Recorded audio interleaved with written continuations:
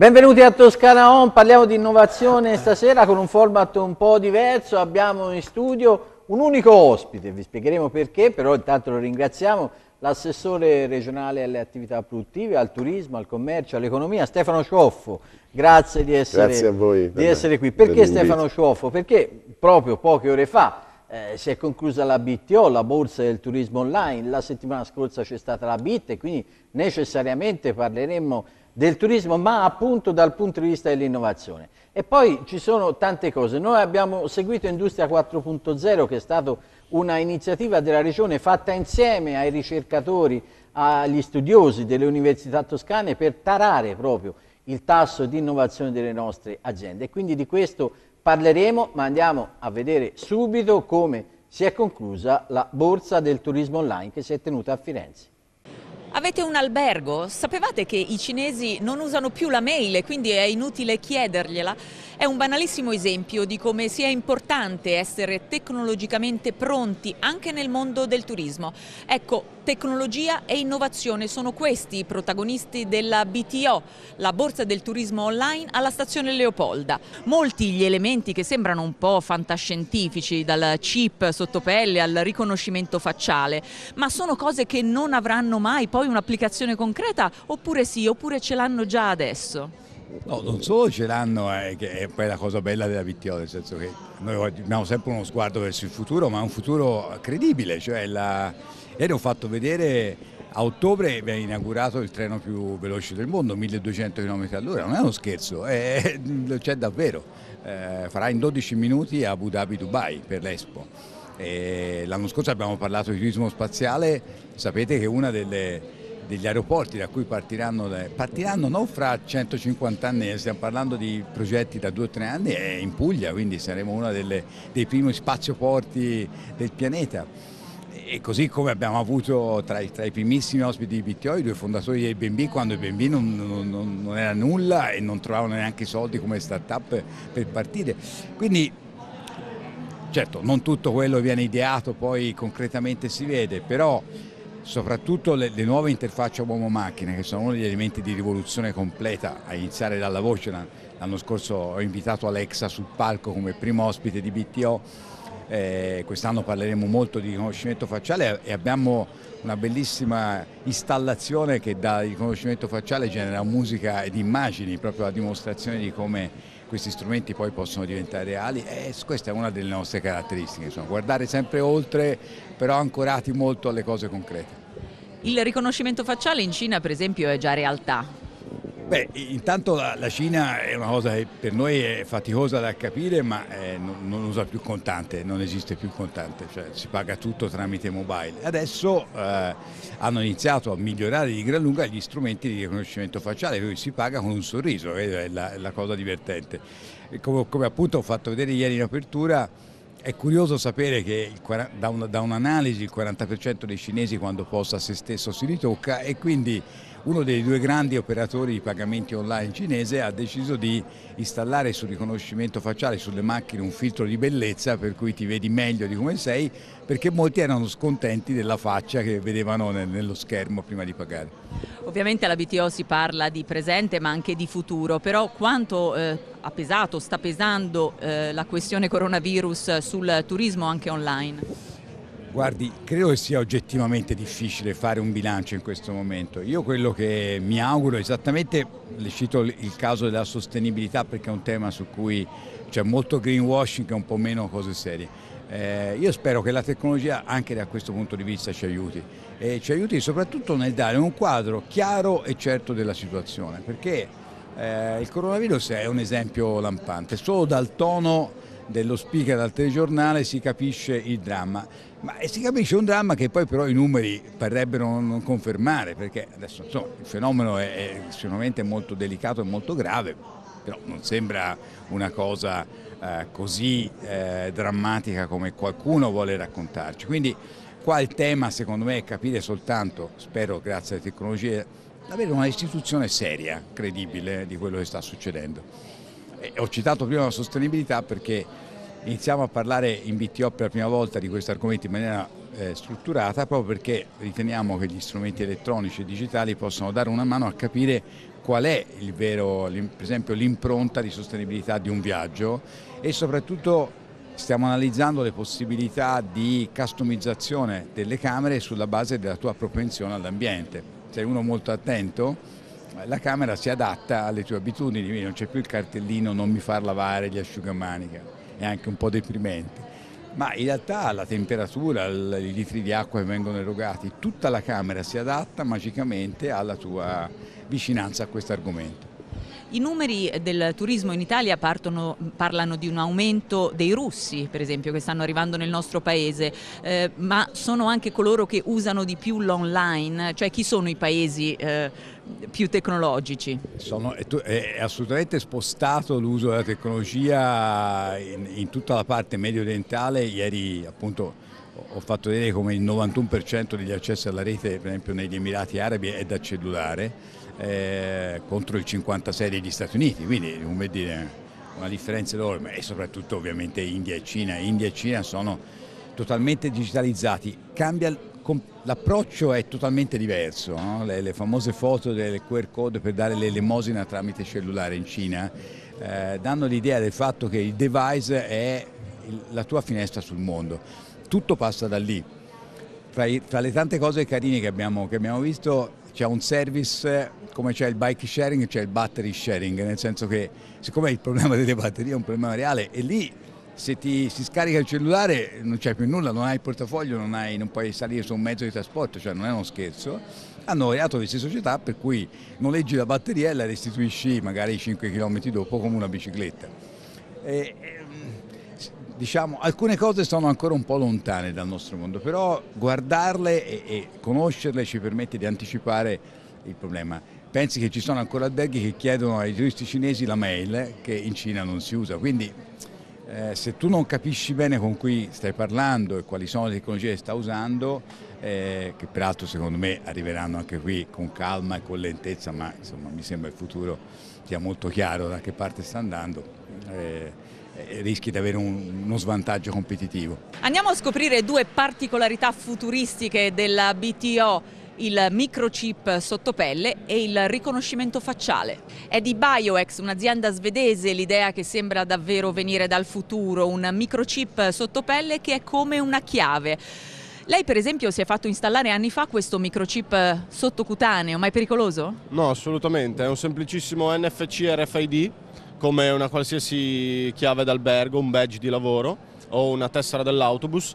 L'unica differenza è che è sotto pelle ed è come una chiave. Io posso accedere al computer oppure se registrato dall'hotel poter entrare nella camera d'albergo. La vera innovazione però su cui sta lavorando BioX è il pagamento anche attraverso il microchip, un sistema di pagamento che potrebbe far sì eh, di non disperdere i dati personali, cosa che avviene molto spesso quando paghiamo con la carta di credito. Questo naturalmente comporta che tutti eh, dovranno avere un microchip. Quanto è futuristica questa idea? Certo, sicuramente chi deciderà di impiantarselo noi faremo il possibile per offrirgli questo servizio e poter pagare da tutti gli esercenti con un normalissimo POS.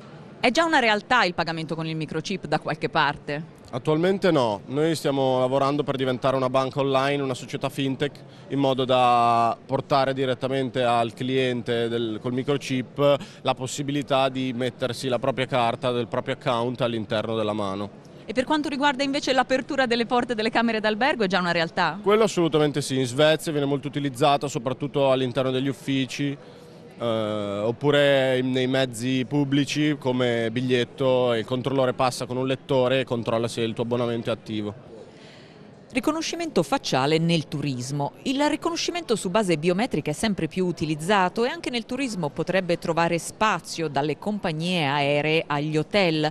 Viene già usato in Cina e in India per la sicurezza, per i pagamenti, l'analisi dei dati e la personalizzazione dell'offerta turistica usato adesso anche negli aeroporti italiani a Fiumicino e Linate, ma anche da Enjoy, ad esempio l'azienda di car sharing che permette di sbloccare l'auto con questa tecnologia o può essere usato per l'entrata a parchi divertimenti dove potrebbero sparire i tornelli. I problemi che pone sono ovviamente la conciliazione della sicurezza con la privacy, un tema che non ha ancora una disciplina chiara. Nella cultura europea l'idea del controllo di massa visto anche le, le guerre, tutti i conflitti che abbiamo avuto, è qualcosa che evoca subito delle ferite profonde, per cui in generale nella nostra cultura c'è una certa eh, riluttanza ad implementare, dal mio punto di vista molto giusto, ad implementare dei sistemi di controllo di massa, anche se apparentemente per fini positivi, perché c'è questa idea che avere più dati voglia dire essere più sicuri. Avere più dati vuol dire avere più dati da analizzare ma si può rischiare anche l'effetto ago nel pagliaio, quindi poi avere troppi dati o quello che il professor Degli Antoni chiamava l'effetto troppa grazia Sant'Antonio, avere troppi dati può addirittura arrivare ad essere controproducente perché poi nella, in questa grande quantità di dati non riusciamo ad estrarre le informazioni utili. Quindi sono cose che vanno usate con molto grano salis. Nel gruppo di esperti della Commissione europea di cui faccio parte, nelle raccomandazioni di policy, noi abbiamo suggerito alla Commissione di non adottare la, eh, strumenti di intelligenza artificiale e quindi riconoscimento facciale eh, legati a identificazione di massa. Bene, Assessore, eccoci tornati a Toscana On, abbiamo visto insomma, la conclusione della Borsa del Turismo online. Beh, insomma, sul fronte del turismo il tasso di innovazione della nostra regione è molto alto, direi quasi tradizionalmente alto, no? Beh, tradizionalmente è, è l'inquadramento corretto. Uh, siamo alla dodicesima edizione della BTO, la BTO è diventata un appuntamento centrale di riferimento per il mondo del turismo e per uh, esplorare tutte le opportunità, tutti gli strumenti, tutte le sollecitazioni che l'innovazione tecnologica, la ricerca, eh, la capacità di comunicare eh, mettono a disposizione degli operatori del settore, dalla costruzione delle narrazioni dei prodotti turistici, delle sollecitazioni, alle strumentazioni, alle competenze necessarie, alle modalità con le quali si sta nelle piattaforme, a come si riesce anche con la, una dimensione di una struttura ricettiva di modeste, piccole dimensioni, a stare in un mercato globale. È una scommessa che la Toscana ha fatto quando ancora le piattaforme erano ai primi passi, quando Airbnb non esisteva. Eppure in Toscana si parlava di turismo e si parlava di come ci fosse questo passaggio, questa scommessa da assumere in pieno e credo che questo ruolo ci sia stato riconosciuto oggi da veri protagonisti. Se si vuole parlare di innovazione nel turismo bisogna essere alla BTO e questa edizione ci ha dato il merito e le attese che aspettavamo. Sì, poi si, si vedeva anche, come dire, eh, quelle pe figure, persone, operatori che ci sono sempre stati, ma anche ricambio, no? nuove figure che arrivano in questo mondo che è in continua evoluzione. Insomma. È un mondo che si rigenera e che eh, dire, mette a disposizione ciò che non abbiamo. Eh, bisogna essere in BTO non tanto per trovare conferme delle proprie scelte, ma per capire cosa posso fare di diverso, di nuovo eh, nelle mie strategie aziendali per l'anno a venire. Eh, cosa devo fare prima degli altri, perché eh, la competizione eh, questo è così strutturata, se sei capace di stare sull'onda riesci a, a sopravanzare, avanzare, ad avere un vantaggio competitivo e credo che la competenza e la conoscenza che BTO mette a disposizione degli operatori sia fondamentale per chi opera in questo settore. Ecco, come dire, seguire le attività produttive, i settori produttivi significa anche necessariamente oggi doversi, come dire, dover stare attento anche a situazioni in cui le crisi incombono, oppure ci sono, come dire, questo ruolo che le multinazionali giocano fino a quando a loro fa comodo e poi arrivederci grazie. Da questo punto di vista come stiamo in Toscana? Beh, questa è una riflessione eh, complessa da, da, portare a sintesi. Il ruolo della, delle multinazionali è innegabile e in Toscana vi sono consolidate presenze di multinazionali che costituiscono un, un importante elemento della nostra economia. Ma se ci si innamora di, di, di questo si rischia di non avere poi la capacità di sostenere e, e rendere produttivo, un mondo, quello più specificatamente legato alla nostra tradizione industriale, quello delle piccole e medie imprese, eh, che, che, comunque qui restano, magari con le sofferenze, che, con eh, i cicli che l'economia mondiale ormai riversa anche in questo mondo, ma che costituiscono la tipicità della struttura dell'economia toscana. Laddove ci siamo affidati in passato alla presenza delle grandi imprese, eh, dire, siamo rimasti un po' con la mare in bocca, penso alla parte nord della costa dove eh, l'abbandono del territorio ha lasciato tracce, eh, oltretutto anche impattanti, non solo in termini di inquinamento ambientale, ma soprattutto di squilibrio eh, delle comunità locali. La Toscana ha questo vantaggio, quello di essere un'economia uh, agganciata a distretti, a un modello distrettuale ben raccontato in questi anni, con specificità, con creatività, con competenze e insieme e a fianco alle piccole e alle medie imprese anche l'effetto di traino eh, delle grandi. Abbiamo come Regione Toscana svolto in questi anni un ruolo importante di attrazione, di marketing territoriale.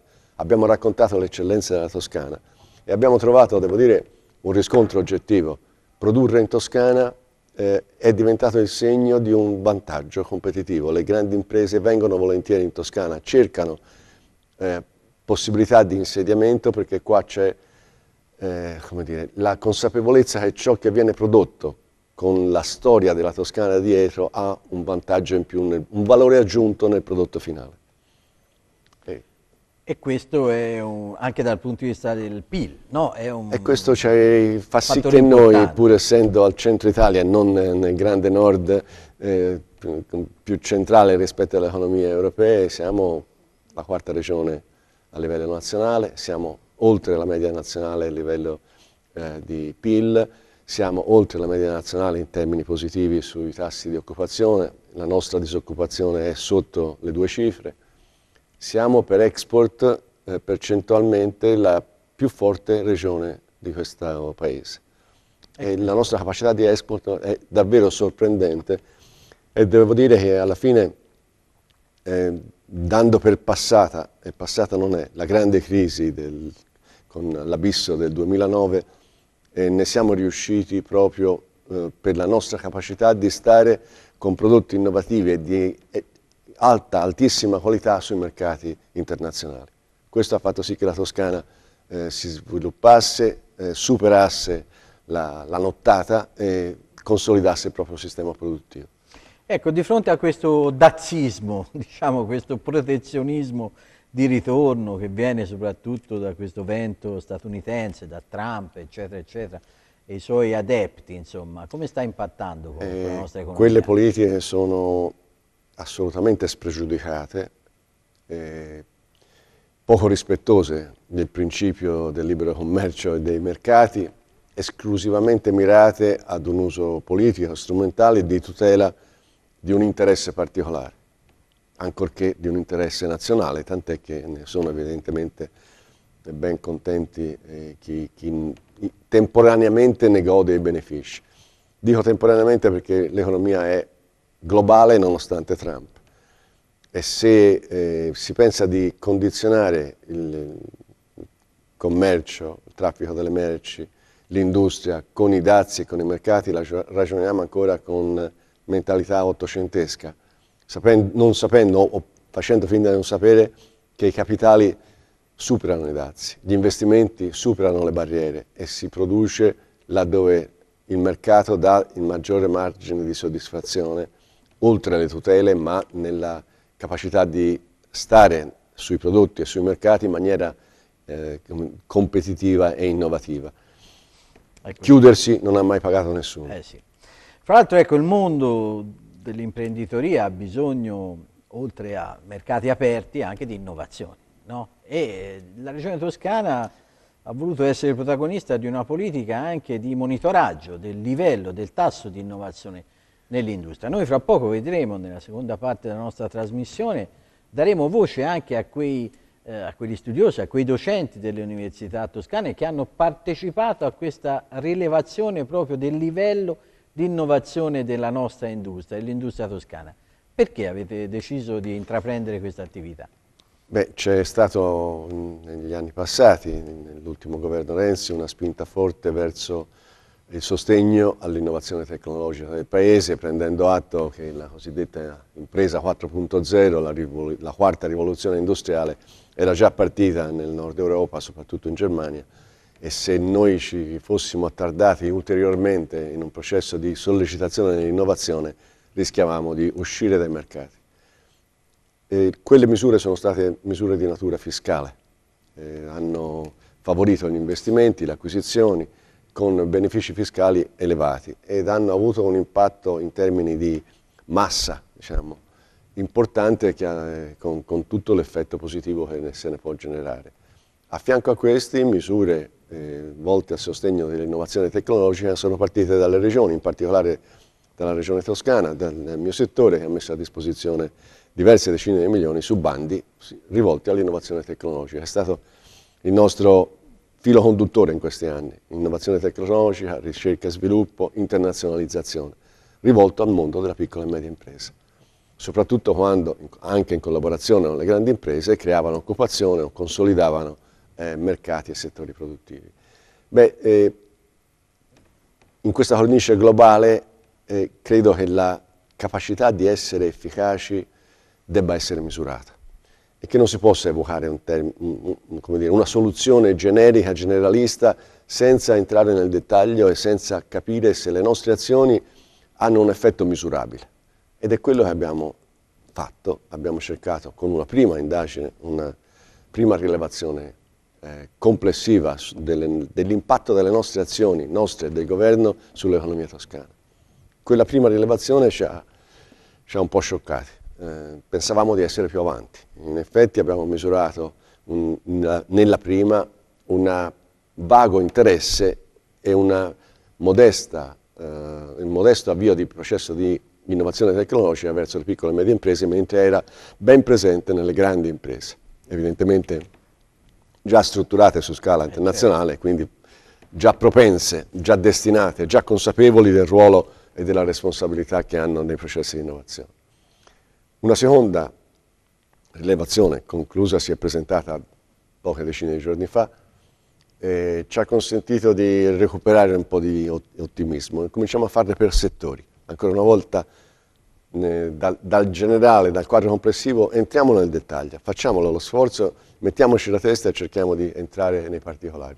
Abbiamo visto come si è spostato fronte di una continuità di azioni, non solo della Regione, ma anche delle associazioni di categoria, tutte, che con noi hanno accettato e assunto questa scommessa, che quantomeno l'attenzione e il livello di interesse e la consapevolezza che l'innovazione è nel destino di ogni attività di impresa il messaggio è passato e i numeri ne danno riscontro, insieme a un progressivo tasso di innovazione che si avvicina non alla sufficienza ma verso numeri eh, eh, accettabili e comunque in linea se non superiori ad altre realtà.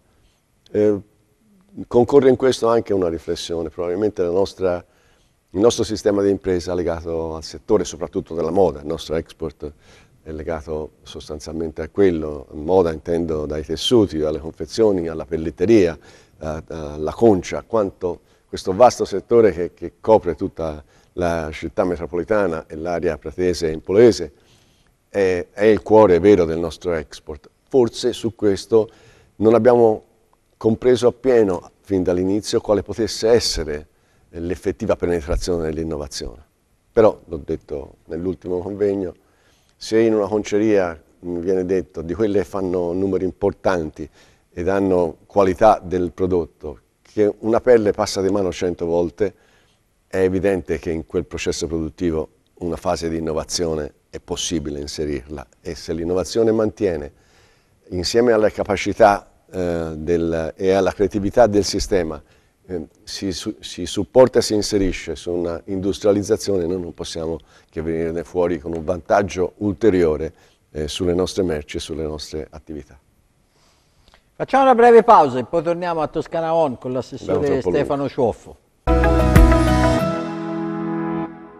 Bene, eccoci ritornati a Toscana On, parlavamo di industria e innovazione, della misurazione dell'innovazione nelle industrie, si può dire, Assessore, lei è una realtà che conosce bene, insomma, che forse il settore tessile a Prato negli anni, anzi nei decenni scorsi, ha avuto come dire, una salita costante verso l'innovazione, anche dal punto di vista ambientale, per esempio.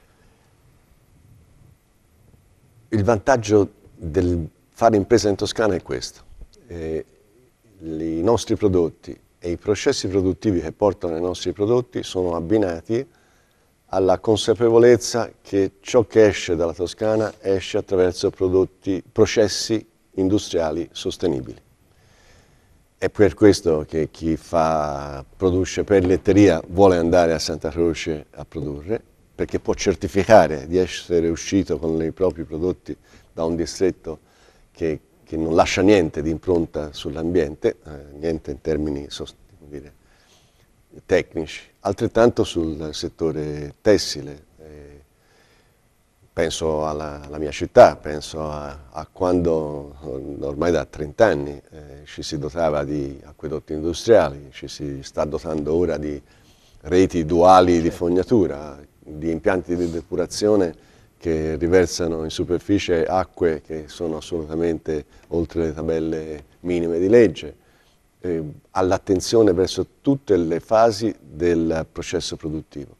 Eh, oggi c'è una eh, sensibilità che forse non si percepisce appieno rispetto alla qualità dei prodotti, non solo sul prodotto finale, ma proprio per tutto ciò che la filiera di produzione ha innescato e carica in termini di, di impatto ambientale sue, nel suo sviluppo.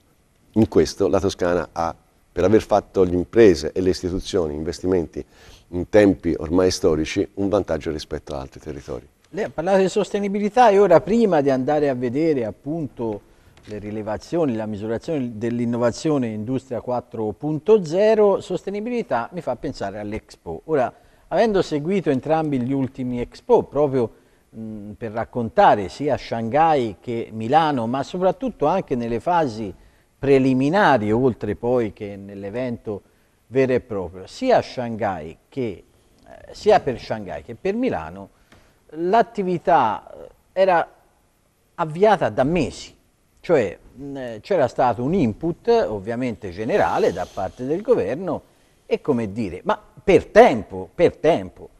E poi le regioni insieme alle categorie economiche, come dire, ragionavano sulle migliori modalità della spedizione. Io ho l'impressione di aver perso qualche battuta perché non mi è sembrato che il governo avesse detto ora pronti via o ho sbagliato io insomma. Beh, eh, non ha sbagliato. Eh. L'Expo di Milano è stato un momento particolarmente positivo e ha mostrato l'efficacia con la quale si può essere presenti in un evento di quel tipo quando c'è chiarezza di progettualità, chiarezza dei ruoli e si mette insieme istituzioni e imprese. Milano ha funzionato e ha funzionato l'immagine del nostro paese nel mondo con quella vetrina. Oggi parliamo di, della presenza del nostro paese e eventualmente della nostra regione a Dubai.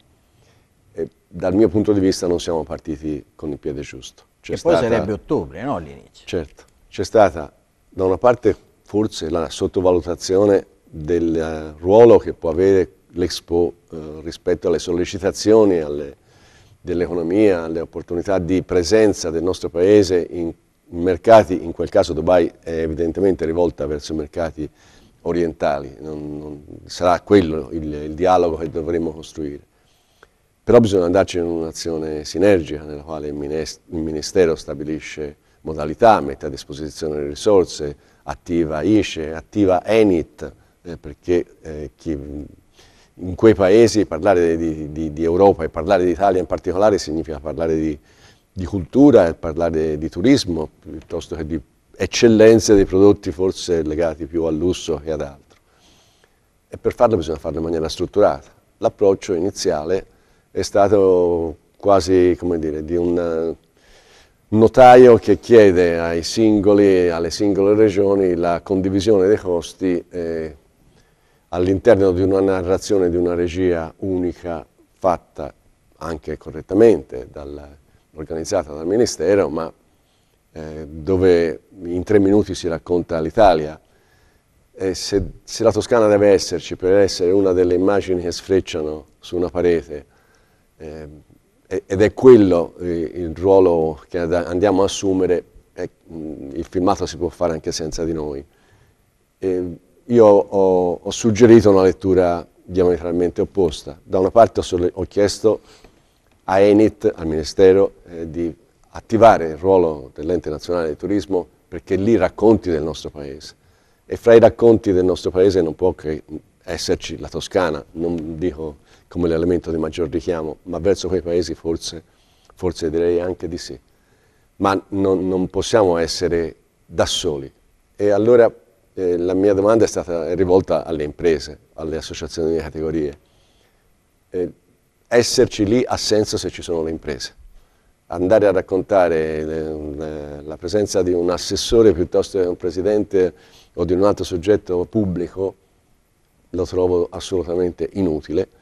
Noi ci saremo, ci investiamo se con noi ci sono le imprese, altrimenti preferisco che scorra qualche immagine della Toscana e che le nostre risorse siano investite in maniera diversa. Bene, grazie, grazie all'assessore Stefano Ciuoffo. La nostra trasmissione ovviamente non finisce qui, anzi andiamo a vedere proprio Industria 4.0, la regione, le università insieme per misurare il tasso di innovazione dell'industria toscana. Vediamo e grazie ancora all'assessore.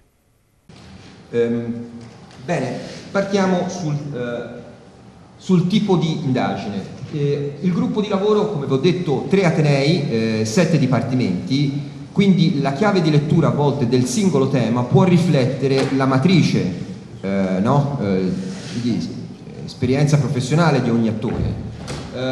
I settori che ci sono stati dati, l'obiettivo era di andare a vedere come le applicazioni delle tecnologie Industria 4.0 erano introdotte nelle piccole e medie imprese, quindi state attenti, nell'analisi delle imprese noi non avremo le micro, ma non avremo neanche le grandi, nelle grandi noi siamo sicuri che questo uh, approccio è già molto diffuso e molto avanzato. Noi abbiamo il mondo delle piccole e medie imprese che caratterizza l'industria toscana, e abbiamo alcuni settori, questi settori ci sono stati dati, non li abbiamo potuti scegliere, che trovate eh, là elencati. Guardate, in realtà noi abbiamo più questionari, voi qua ne trovate 421, ma in realtà noi ne abbiamo raccolti 500, ce n'è un'altra ottantina sul sistema della pelletteria Concia, che però verranno presentati in un'altra indagine, ma in realtà il nostro database è fatto di 500 imprese qual è eh, nello stato evolutivo, da un minimo di uno outsider a un massimo top performer, eh, il risultato su queste 421 aziende è eh, un punteggio di, di media di 2,6.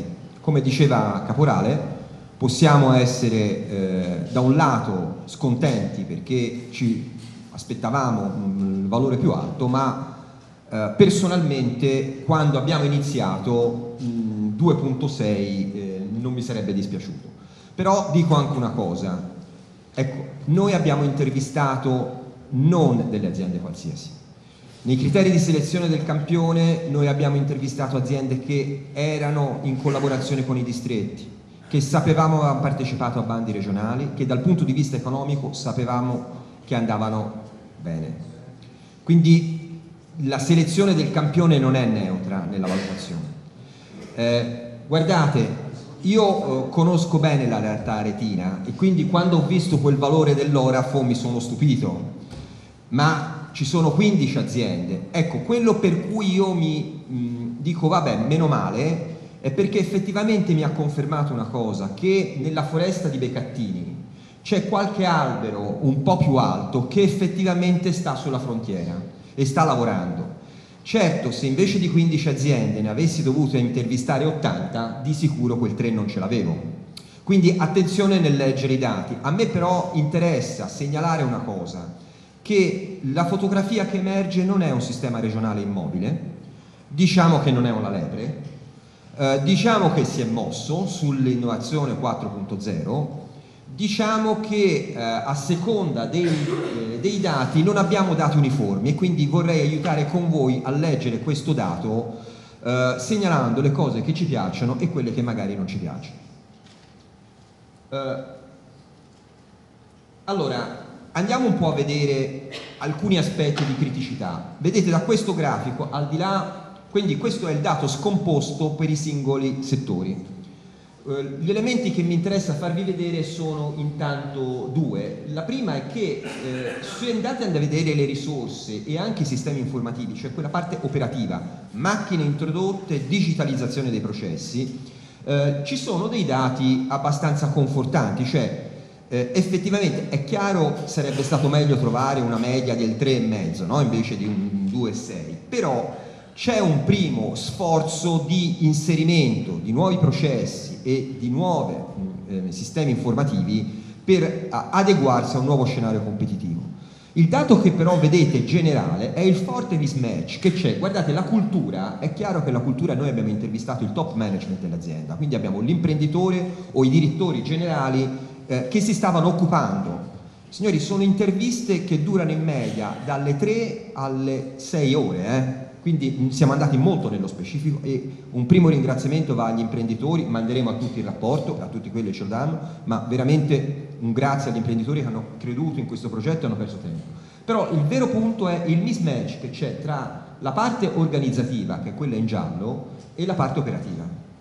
Ecco, se, eh, quando poi analizzeremo il tema delle performance, dimostra che qui c'è un sistema che ha preso ehm, coscienza, ha fatto degli investimenti sulla parte operativa, fa fatica ad adeguare il proprio modello di business sulla parte organizzativa, che vuol dire competenze del personale, modelli organizzativi diversi rispetto a prima.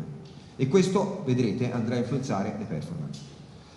Che tipi di risorse? Beh, eh, eh, diciamolo, qualche volta può anche darsi che il piano Calenda sia stato visto come una bella Sabatini dove si è fatto un po' di rinnovamento di macchinari, alcuni di questi macchinari probabilmente già servivano no? macchine utensili, dispositivi di misura, cioè probabilmente non è detto che poi siamo sulla frontiera di Industria 4.0, però intanto eh, un'introduzione di macchinari eh, è stata fatta, anche di più macchinari. Qual è l'elemento forse da vedere? Che i macchinari più avanzati, dentro quell'altro ci potrebbero essere visori di realtà aumentata, no? quindi eh, diciamo che eh, macchine specifiche di Industria 4.0 non sono molto diffuse, riguardano solo alcune aziende.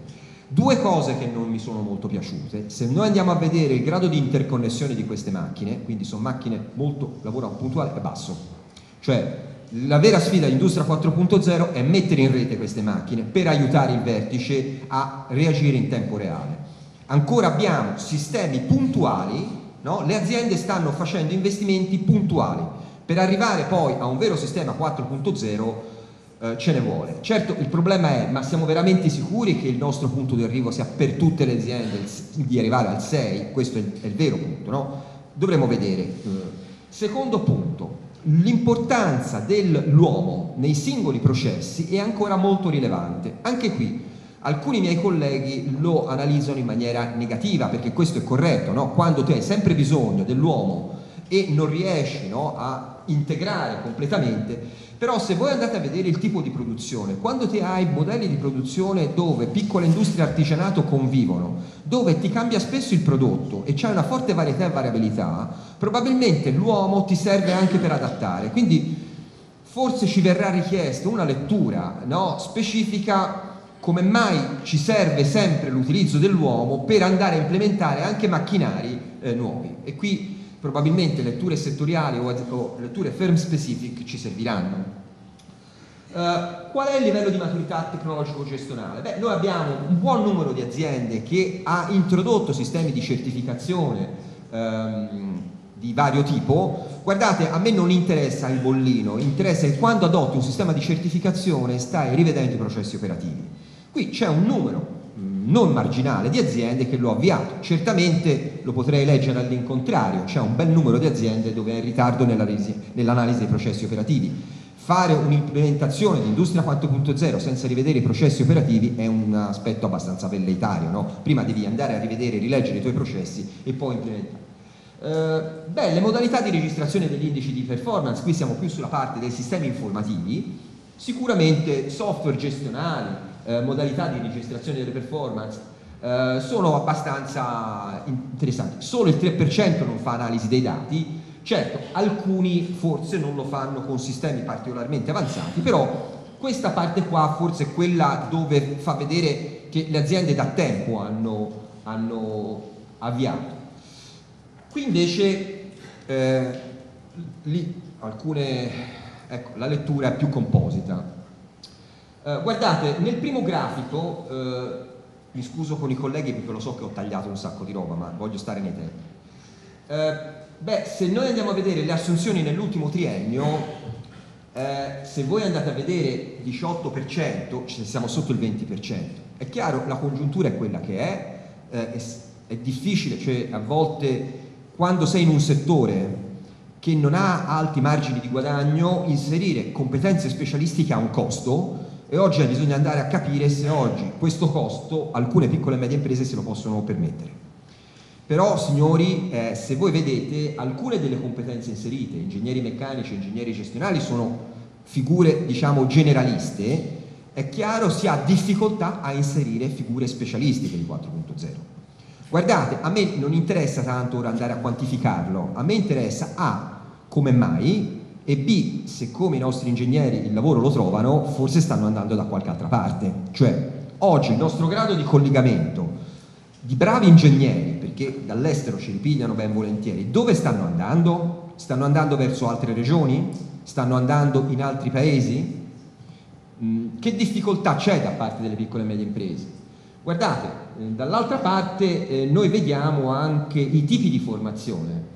Beh, qui una cosa è, eh, se voi vedete, è ancora prevalente un sistema di formazione on the job e questo non, mi, non è necessariamente una cosa negativa. Eh, L'università, il sistema della formazione può dare un tipo di formazione generalista, poi quando introduco che tu venga dalla scuola dell'obbligo, da una laurea triennale o dalla laurea magistrale, ho bisogno di un tipo di formazione on the job. Il problema però è se io ho delle risorse che hanno o per età o per modalità un tipo di competenza che si è formato nel tempo e io ho delle sfide oggi di robot, eh, il tipo di formazione on the job dipenderà dalla qualità delle persone che fanno questa formazione, di nuovo, no? da modelli organizzativi nuovi. Quindi bisogna anche capire oggi quali sono i modelli formativi più idonei sulle sfide A. Guardate, eh, anche qui, eh, bicchiere mezzo pieno, mezzo vuoto. Eh, il dottor Caporale propende sul bicchiere mezzo, mezzo pieno, Beh, possiamo dire che il 47% mi sa definire che sono, cosa sono di soft skill e ci sta investendo.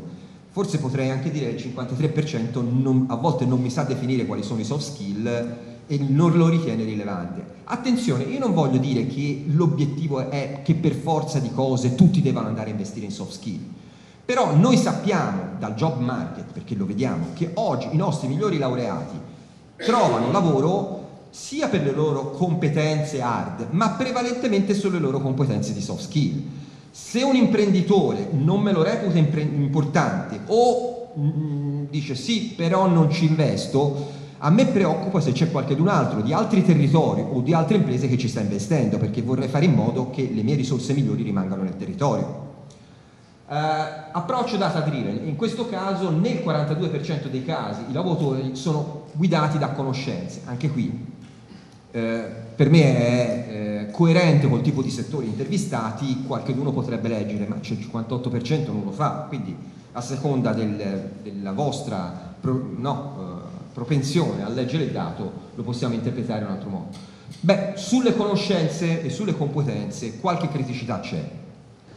Eh, modelli di business, mm, molta letteratura, cos'è la capacità dell'azienda nei suoi vari elementi di produrre e creare valore nel tempo.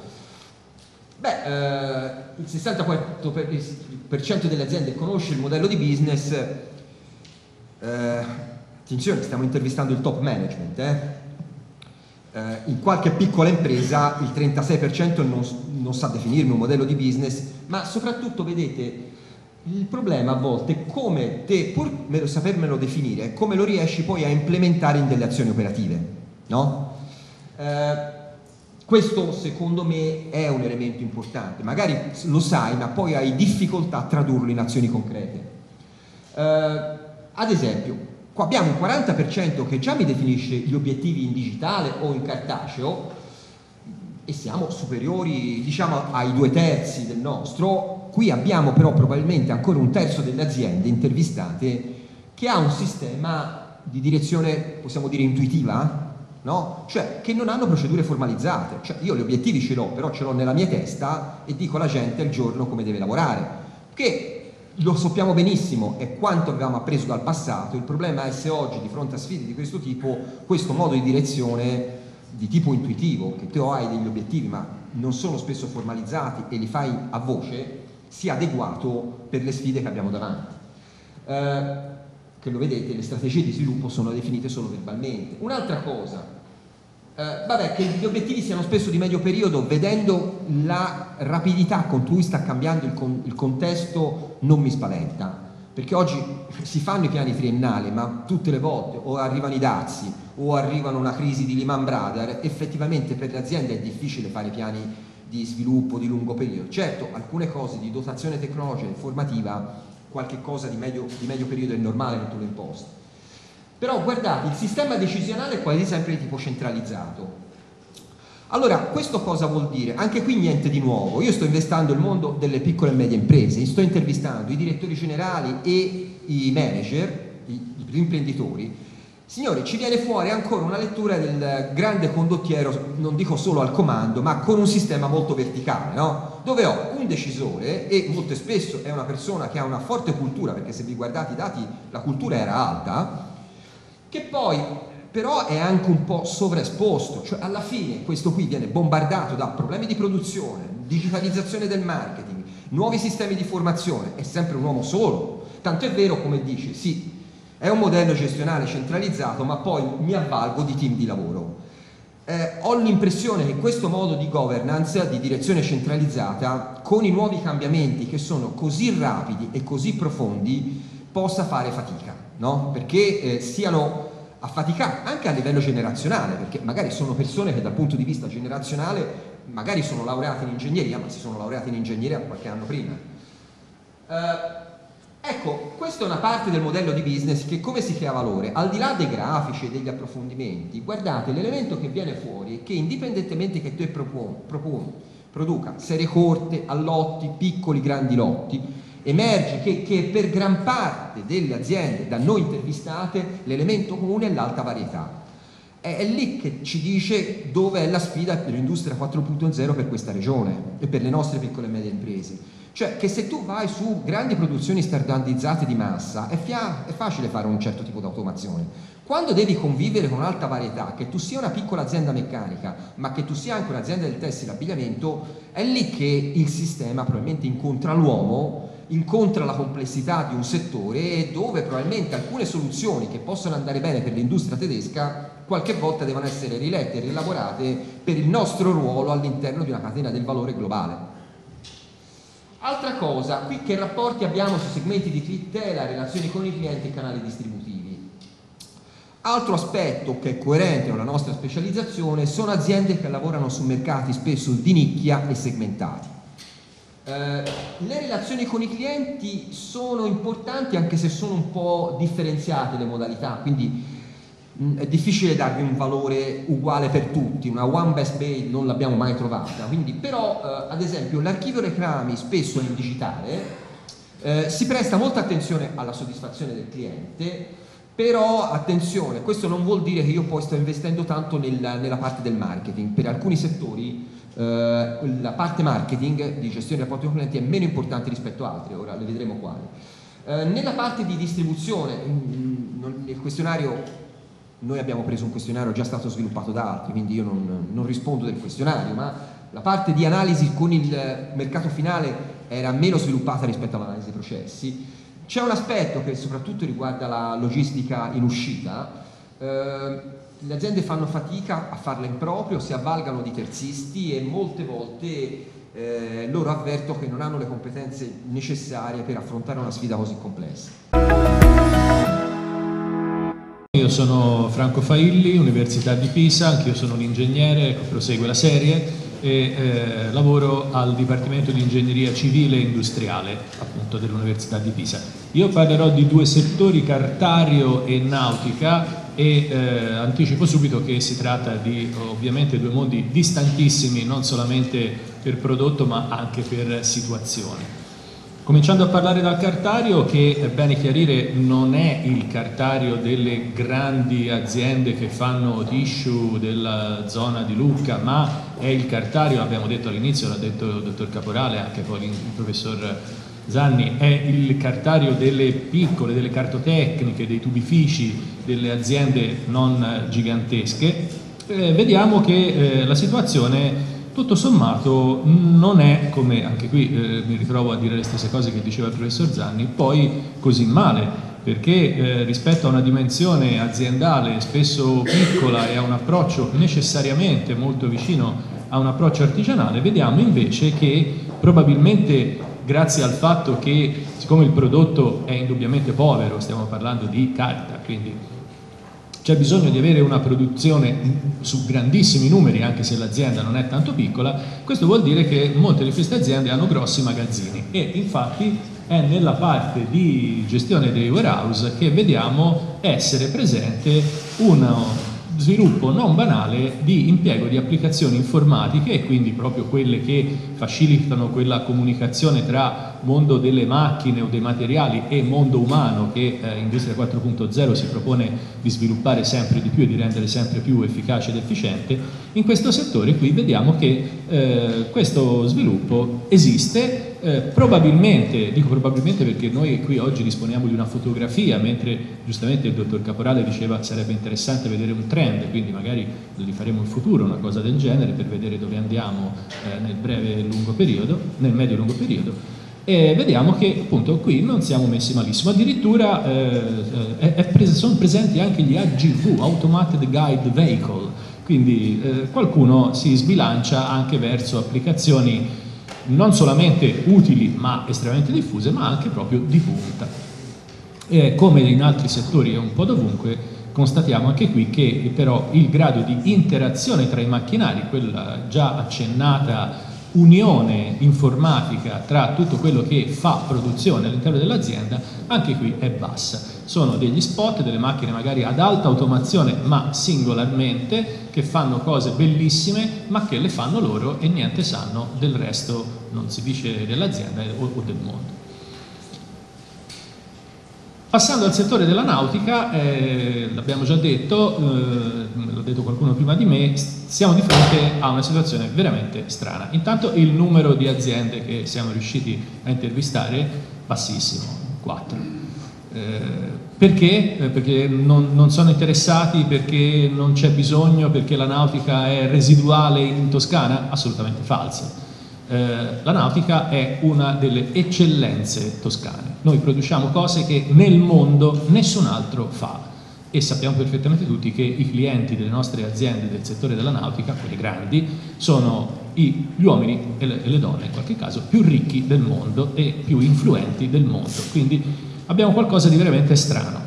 Veramente strano perché la fotografia di questo settore io l'ho avuta il giorno, anzi i giorni che sono andato a Viareggio e sono andato in via Coppino. In via Coppino voi girate a destra e vedete non una, quella che noi siamo abituati a chiamare barca, voi vedete un'astronave poggiata nell'acqua del bacino e dall'altra parte vedete un negozio dove ci sono degli artigiani che con la carta vetrata strusciano sul compensato marino tenuto dai morsetti.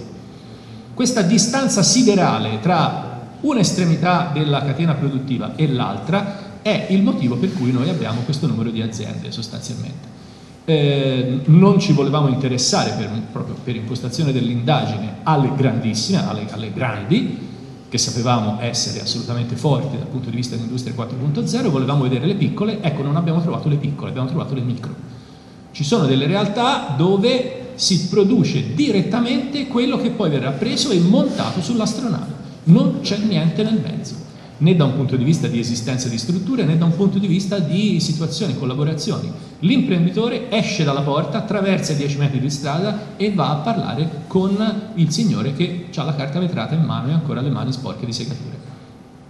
Questa è una situazione assolutamente strana eh, e che determina situazioni mh, assolutamente particolari per cui eh, a fronte di prodotti che incorporano una quantità di innovazione e di progresso, ripeto, a livello aerospace e in qualche caso anche superiore, perché spinti dalle volontà di questi clienti molto strani, troviamo persone in grado di soddisfarle con strumenti estremamente basic, poveri e con processi aziendali, gestionali e in qualche caso anche realizzativi assolutamente eh, anche questi di livello non diretto verso Industria 4.0, diretto verso un'eccellenza che non guarda a quegli aspetti che invece caratterizzano l'Industria 4.0. E uno degli aspetti importanti che sono venuti fuori anche dal focus group e che forse dà ragione anche di questa distanza enorme che esiste tra questi due gradini della eh, filiera produttiva è il fatto che eh, mancano i giovani. Sembra una banalità, eh, lo, lo, sappiamo tutti, le difficoltà che hanno i giovani nell'ingresso del mondo del lavoro, specie se non in possesso di titoli più o meno altisonanti, ma lì sta diventando una cosa veramente drammatica perché eh, la persona con in mano la carta vetrata che sta di là dalla strada spesso è una persona anziana e sicuramente non giovane, matura magari, ma non giovane. Questo è un problema perché inevitabilmente la transizione verso strumenti eh, che facciano un uso significativo, diffuso e utile di tecnologia digitale non può prescindere dalla presenza altrettanto significativa di persone giovani. E lì mancano. Per motivi che adesso qui sarebbe lungo stare a spiegare, ma è stato fatto chiaramente capire che questo è uno dei problemi. Un altro dei problemi, che non è un problema naturalmente, eh, fortunatamente, è il fatto che gli affari vanno bene e quindi non esiste quella spinta della necessità che in altri settori invece ha caratterizzato questa transizione e che in questo specifico settore è decisamente debole in questo momento. Io ho esaurito i sette minuti a mia disposizione e quindi spero di aver dato un quadro chiaro. Il modo con cui ci si approccia al problema dell'impresa. Quello che un professore due anni fa disse, ah ma questo è un metodo sudaticcio. Eh, perché su dieci contatti uno te ne va bene. Perché pensare, lo dico con la trasparenza che ho sempre avuto, di fare dici internazionali perché si fa business è un errore devastante. Io partecipai a un convegno della rivista L'Industria a Padova in cui all'epoca presidente di Confindustria Servizi disse ora tocca a noi. È stato un errore, non so se tattico o strategico, perché la battaglia, e lo dico, non è a chi riesce a vendere i servizi alle imprese, magari, magari, perché il sistema di incentivi e di opportunità ci sono, è il bando nostro, è il bando nazionale della microinnovazione, non è il problema dell'opportunità, è far capire all'imprenditore che acquistare quel bene e fare quella cosa, perché da dall'analisi viene fuori una cosa che sta emergendo anche alle regioni più grandi Stavano tutti a, guardare perché, vi dico e chiudo, stavamo ieri discutendo con la segretaria come lanciare il, comitato, il, il, il comunicato stampa della ricerca. I comunicatori, dice, la regione è in ritardo, io ho visto i dati ho detto pensavo peggio, bisogna accelerare, forse sì, ma come fai a chiedere a un settore, una volta faccio io rappresentante, a un settore produttivo che è uscito da dieci anni di crisi, con un sistema del credito prossimo allo zero. È ripartito perché avere queste performance sull'export è un dato che ribadisce ancora il calabrone di, di Beccattini, perché i dati sulla produttività, questo, questo è il tema dei temi di tutti, forse noi siamo allo 0,1, 0,2 quest'anno, in Lombardia si rischia andare sotto lo zero. La Lombardia ha un trend di 20 anni non cresce come l'Emilia Romagna, la Toscana partendo più basso. Allora abbiamo tassi di produttività, quindi efficienza non eccezionale. Riusciamo a fare delle performance sull'export, siamo una delle tre regioni che tiene in piedi l'export nazionale. Fin quanto reggiamo in questo modo? Allora, emerge, e lo dico anche ai settori che più conosco e che hanno, quello che diceva il Presidente, noi che riusciamo a reggere sull'export avendo dei margini elevatissimi o meglio, buoni sull'innovazione di prodotto. Ma guardate che sull'efficienza produttiva noi rischiamo di perdere la nostra competitività. E questo riguarda tutti, anche le medio grandi, anche le medio grandi, voi le conoscete. E su questo bisogna fare uno sforzo, perché il rischio è che Irpet ha presentato a Pisa un rapporto un mese fa, un'analisi, io sono rimasto allibito, Stefano Casini, che rischiamo, e già ci sono alcuni segnali macro, che stiamo ritornando alla competitività sul costo, che per noi sarebbe una iattura. La competitività sul costo significa ribaltare la riduzione dei margini sul costo del lavoro. A questo punto la scommessa non è l'operaio, il dequalificato, è l'ingegnere. Perché se uno vuole lanciare la sfida della digitalizzazione, e vuol pagare poco l'ingegnere, l'ingegnere non ci viene, non ci viene nemmeno l'operaio qualificato. Quindi un, un orientamento di policy spinto più sull'efficienza adattativa, eh, su questo non c'è dubbio, sarebbe già una scelta selettiva non da poco, non da poco. Riusciremo a spingere a fare un piccolo piano 4.0 che dice non so se è prioritario, non so se è esclusivo, lavoriamo sull'efficienza produttiva, perché sull'efficacia, nel senso sulla minerazione del prodotto, ma perfino il distretto di Segromini delle Scope lo fa perché è riuscito ad avere il bastone universale e non è che è proprio il massimo, però eh, perché altrimenti su questo noi abbiamo segnali non positivi. Ritornare all'efficienza, alla capacità sul costo per noi sarebbe una perdita di, di costi, fin quanto leggiamo da questo punto di vista.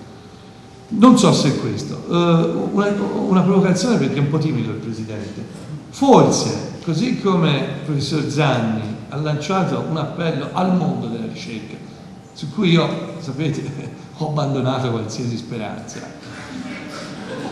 forse quel lavoro che abbiamo iniziato di mettere a fattor comune le banche dati, i risultati di ricerca che abbiamo fatto anche in maniera ognuno il questionario nostro, il tuo, il suo, forse è arrivato il momento perché queste informazioni, noi abbiamo un problema Presidente di pubblica amministrazione 4.0, non so se ce la farò, però noi abbiamo bisogno di avere informazioni di quello che succede nel tessuto produttivo forse prima di voi.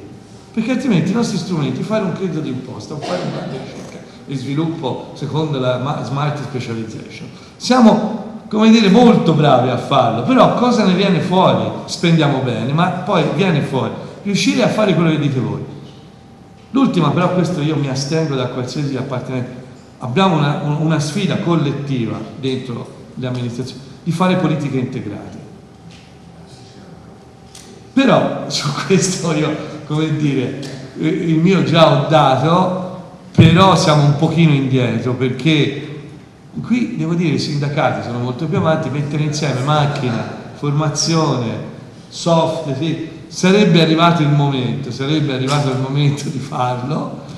A livello nazionale è ancora il selettivo, perché prima il macchinario, poi il credito d'imposta, si potrebbe fare, gli strumenti ci sono, sono un po' complessi ma ci si arriva, il Mise lo fece all'inizio degli anni di questo secolo, il PIA, pacchetti integrati agevolativi, non è che è un'invenzione e innovazione.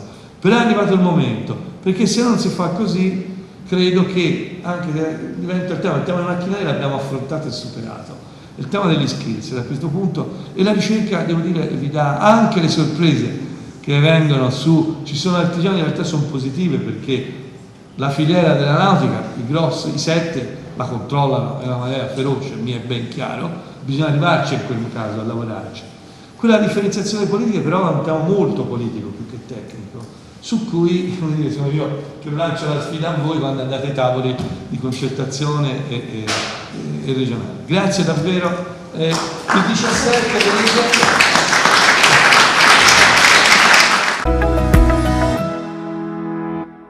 L'assessore regionale Stefano Ciuofo parlava poco fa del laboratorio 4.0 specifico nel tessile ed eccoci qua al Museo del Tessuto di Prato eh, per l'analisi del tasso di innovazione proprio applicato a questo settore. Sono stati resi noti infatti gli esiti della ricerca eh, interdipartimentale dei tre Atenei toscani eh, fatta su 163 aziende di Firenze, Prato e Pistoia che sono il cuore del tessile moda della Toscana. Allora sentiamo cosa è emerso.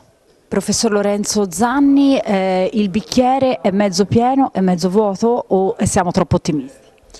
Allora, noi abbiamo intervistato circa 500 aziende in Toscana, piccole e medie, per andare a misurare il livello di evoluzione di Industria 4.0 nei loro modelli di business e nei loro modelli organizzativi. Su una scala da 1 a 6 viene fuori un livello medio di 2,6, quindi tra principiante e intermedio. Bicchiere mezzo pieno, mezzo vuoto. Eh, è chiaro che la frontiera tecnologica non ce l'aspettavamo perché è una cosa rara a livello anche internazionale. Eh, personalmente penso che per il campione abbiamo analizzato è il bicchiere mezzo pieno, ci stanno però eh, facendo emergere da i dati, delle criticità su cui bisogna agire. In pratica la dimensione risorse, l'aspetto hardware, le macchine, con Industria 4.0 Piano Calenda eh, è stato fatto degli forti investimenti eh, anche sui sistemi informativi, la componente organizzazione che riguarda competenze del personale e modelli organizzativi delle imprese ci sono fortissimi ritardi. Quindi il bicchiere è mezzo pieno soprattutto per alcune elementi, per altri elementi il bicchiere è mezzo vuoto e non permette di estrarre tutto il valore di questi investimenti che eh, potrebbe permettere se avessimo anche le risorse umane adeguate alla sfida tecnologica. E quindi per cogliere questa sfida cosa devono fare le imprese? Allora, questo è un segnale per, per, tutti, allora, in primis per gli imprenditori, cioè che non conta quanto è l'investimento in macchinari o in elementi fisici dell'azienda, che sono importanti ma sono solo una parte. Oggi l'elemento altrettanto critico è eh, le persone che ti affiancano. Un aspetto importante è che la cultura, cioè il livello di consapevolezza di questi imprenditori lo abbiamo trovato abbastanza alto, quindi loro sono in, in grado molte volte di capire la sfida, però si rendono conto che hanno una struttura organizzativa che ancora non è in grado di affrontare, cioè posso comprare la macchina ma mentre invece per tirare fuori le persone che mi servono servono tanti investimenti, quindi questo in primis è una cosa che riguarda l'impresa. Riguarda l'università e tutto il mondo della formazione, anche delle scuole tecnico-professionali, perché se ci sono carenze nell'aspetto della formazione può essere da un mismatch tra domanda e offerta, eh, che può essere di quantità, quindi forse non siamo in grado di dare abbastanza ingegneri di quanto il sistema industriale toscano ci sta richiedendo, eh, ma forse a volte anche della capacità del sistema industriale, del sistema della formazione di interagire. Quindi io sono delegato al trasferimento tecnologico di, di, di Siena, ma per eh, lo stessa cosa per Firenze e per, per, Pisa, per tutti noi è un segnale di fare ulteriori sforzi di migliorare le interazioni tra i nostri distretti, i nostri sistemi dell'impresa e il mondo accademico e infine probabilmente anche per i policy maker e per gli attori istituzionali, associazioni di categoria, probabilmente ci sono dei margini di miglioramento e direi notevoli sulla parte della formazione professionale perché oggi probabilmente c'è difficoltà eh, a tradurre determinati investimenti di formazione professionale fatte perché se le aziende continuano a segnalare delle grosse criticità su questo vuol dire che eh, o la qualità o, o, la quantità o vediamo un po' le modalità di formazione professionale ci sono margini di miglioramento. Le istituzioni, in questo caso quella regionale, come possono aiutare certi processi, a parte mettendo a disposizione dei finanziamenti? Beh, guardi, intanto diciamo una cosa, su Industria 4.0 ha agito molto il governo nazionale perché di risorse ne sono arrivate tante. Io ho trovato alcune mh, ho, ho delle pratiche di parlando con le aziende, alcuni bandi regionali io li trovo molto efficaci, sono ad esempio quello sui servizi qualificati che vengano utilizzati con modalità rotative. Probabilmente bisognerebbe ragionare sull'efficacia su alcuni investimenti nell'area della formazione, secondo me, ma non, non, voglio entrare nel dire se è fatto bene o fatto male, forse abbiamo bisogno di soluzioni nuove. Io personalmente eh, in Regione l'ho sempre detto, tenere mh, separate attività produttive da formazione sul versante di Industria 4.0 è pericoloso perché a me un computer, se io non ho un ingegnere o comunque un tecnico bravo che lo sa usare, mi serve a poco, quindi bisogna individuare anche nuovi meccanismi eh, di, di, di, di, incentivo che colleghino meglio la parte di investimento hardware con quello software. Poi abbiamo il sistema dei distretti tecnologici mh, che viene fuori un sistema a geometria variabile, qualche cosa sta funzionando bene, qualche altra cosa sta forse funzionando meno bene, dove lì c'è più problemi di interazione e di organizzazione tra sistemi molto complessi, dove forse la struttura industriale è molto più pulverizzata e, e, e realtà locali più tradizionali. Ora non voglio fare nomi, però io lavoro sul life science personalmente, noi al, trovo che nel distretto scienze della vita, quando gli interlocutori sono grandi o comunque anche spin-off accademici, eh, il, il, distretto stia lavorando molto bene, nel settore della moda abbiamo molta più polverizzazione con competenze più tradizionali, mi rendo conto che il lavoro è diverso. Dobbiamo migliorare l'interazione tra centri di ricerca pubblici e privati, ci sono margini per fare sinergia, se no si disperdano le, le azioni. Professor Mauro Lombardi dell'Università di Firenze, qual è lo stato di salute o meglio qual è la diffusione, lo tasso di diffusione della tecnologia nelle nostre imprese?